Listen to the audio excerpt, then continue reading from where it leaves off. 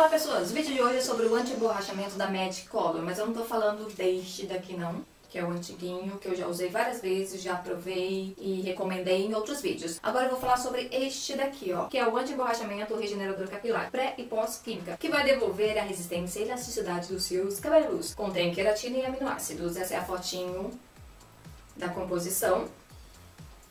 Eu comprei mais realmente por causa da composição. Olhando aqui atrás, eu falei, nossa, ácido lático, tem glicerina, bababá, bababá, bababá. Achando que seria melhor que este daqui, o antiguinho. Então eu comprei na empolgação mais pela marca, porque eu uso várias coisas da Magic Color e como eu usei esse daqui achei maravilhoso, eu achei que esse ia ser plus. Ele na realidade faz parte de um kit que vem shampoo, vou colocar aqui a fotinho. Vem shampoo, vem, vem uma máscara, vem um finalizador e queratina hidrolisada. Eu pensei assim, eu já tenho outros anti-borrachamento que eu vou colocar aqui o link que eu já usei da SOS para Gliss, que eu não gostei.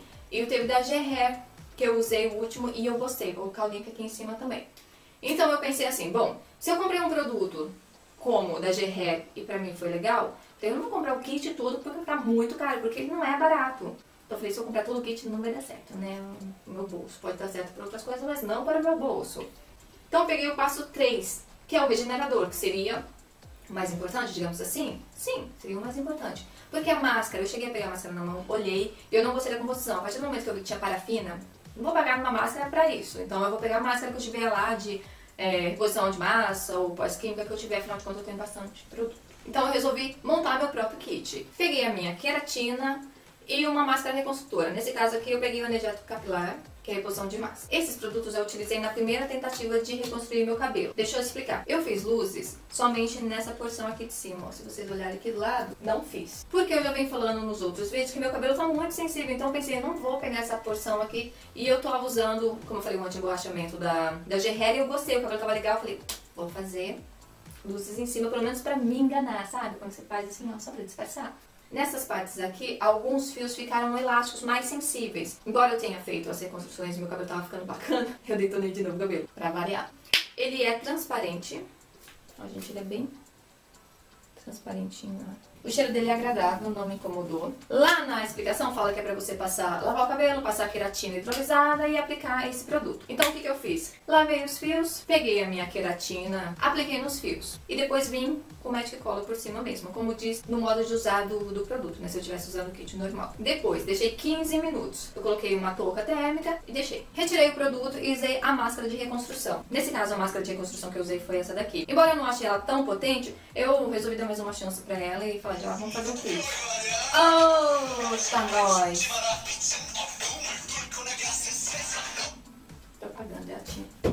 Só a Tim que me liga. É, voltando. Falei, ah, é uma reposição de massa, vamos tentar. Dei mais uma chance. Deixei o período da máscara, enxaguei. Quando eu retirei a queratina e o regenerador, na, na, na, lavagem eu senti o cabelo estranho. Sabe quando o cabelo fica emborrachado? Só quem tem cabelo emborrachado vai saber. Ele dá uma retraída. Então ele ficou meio embolado. Eu senti os fios embolados. Falei, nossa, a da GR não deixa assim. Peguei o pente bem devagarzinho pra desembolar. Aí sem querer eu peguei um fiozinho na mão. Assim, eu falei, ah, esse fiozinho tava emborrachado. Aí eu fiz só uma leve tração. O fio quebrou. Falei, nossa. Então depois de usar a máscara, enxaguei e não vi diferença nenhuma, sabe? Nada, nada, nada. O cabelo tava do mesmo jeito, tava meio grossinho, meio...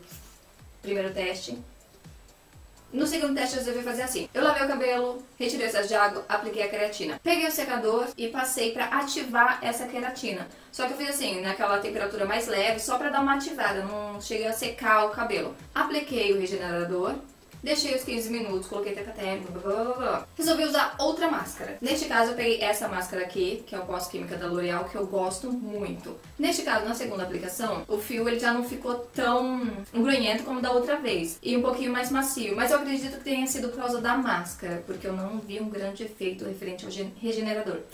Nossa, tá difícil falar hoje, hein? Caraca. Meu cabelo da minha mãe. Resolvi fazer o teste no cabelo dela também, porque eu fui fazer luzes azuis no cabelo dela. Luzes na parte da frente eu puxei um pouquinho mais pra cá. Nessa parte onde eu fiz luzes novas não deu nada, mas não tinha as luzes antigas. Acabou pegando um pouquinho também e ficando elástico. Fiz o mesmo teste com ela, igual fiz no meu. Na primeira vez, na segunda vez. Só na terceira vez eu comecei a ver um pequeno resultado. Não foi nada assim, nossa, que resultado maravilhoso, sabe? Sabe quando você começa a se arrepender de ter comprado o produto? Tava acontecendo isso comigo. Então eu fiz no meu cabelo da minha mãe, três vezes. dando um intervalo assim de 3, 4 dias. Não dei um intervalo muito longo porque tava elástico, eu queria ver se dava resultado. Entendeu? Sabe quando você quer alguma coisa? Mesmo que o cabelo, mesmo que o cabelo ficasse duro quando você faz muita reconstrução, mas não aconteceu isso, tá? E resolvi pesquisar. Eu gosto de pesquisar depois, sabe? Ver resenhas, depois pra não me influenciar. Aí eu fui ver que tinha gente que comprou o kit inteirinho. Gastou. Comprei o kit inteirinho e. Ai, fui ver o resultado na terceira, na quarta vez. Você comprar um kit, cara, da... caro, com tudo que vem, tudo, tudo, tudo. E depois na terceira, na quarta ou na quinta você vê um resultado legal, eu acho muito complicado. Porque você pode comprar um produto, tipo o da Gerrero, não sei qual é a diferença. Eu olhando aqui, eu olhei e falei, ah, pra mim é a mesma coisa. Então, mas não foi. Na terceira aplicação ele começou a melhorar mas nada que eu falasse, nossa, que legal. Não, eu tenho que secar tomando uma cuidado essas partes aqui. É, até porque alguém pode falar assim, nossa, mas você não usou o kit todo. Eu falei, gente, eu usei produtos que são semelhantes àquele ali. E até porque o regenerador, ele poderia cumprir um papel maior. Sabe quando você usa um produto, você não usa o shampoo, você não usa tudo, mas você usa de repente a máscara e a máscara faz todo o efeito. Às vezes a gente não compra o kit inteiro e compra a máscara que vai é, cumprir um papel de melhorar esse fio. Então, pra mim, particularmente, não recomendo. Se você for comprar só ele, se você tiver dinheiro pra comprar o kit e quiser arriscar, problema é seu. Eu não arriscaria. Eu não pensar assim, vou comprar o kit todo pra ver se o resultado é melhor. Então, vou comprar o kit todo. Mas, enfim, pra mim, só o passo 3, vamos deixar claro, tá? O passo 3, só o passo 3, pra mim não fez efeito. É, demorou muito pra surtir um, um mínimo de efeito, entendeu? Se a Meticolo quiser me mandar o kit completo pra eu testar e de repente eu posso mudar de ideia ou não, pode mandar, não ligo não, tá, gente? Só que eu vou ser sincera, independente do que for.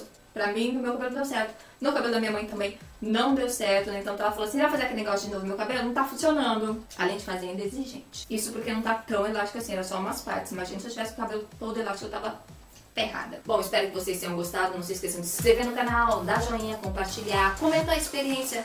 É sempre válido. Me seguir nas redes sociais pra gente bater um papo e blá blá blá blá blá blá blá. E é isso aí. Até o próximo vídeo. Eu achei de cabelo de novo. Então, obrigada pela atenção. Joinha.